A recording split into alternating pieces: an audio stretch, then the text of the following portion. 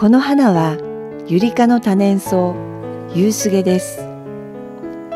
ユウスゲは日当たりの良い草原に7月から8月にかけて咲き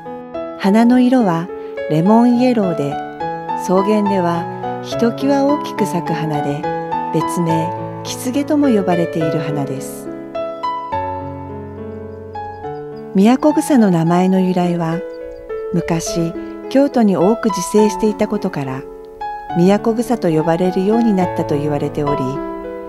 海岸や道端などで見られます。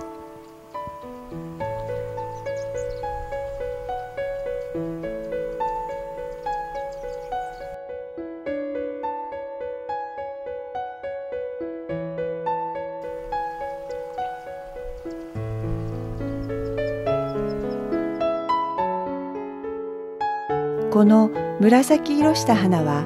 マメ科の多年草草藤です。名前の由来は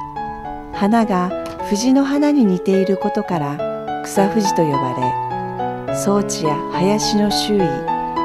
端などに自生し花は5月から9月にかけて咲きます。この白い花はキク科の阿蘇ノコギリ草です。阿蘇ノコギリ草は7月から9月にかけ花が咲き葉っぱがギザギザしていて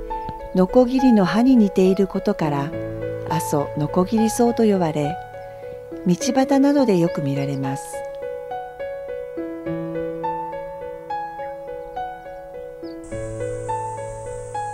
この可憐な花はユリ科の多年草ヤマホトトギスです。ヤマホトトギスは産地の林の中に自生しており可愛らしい花は7月から9月にかけて咲きます。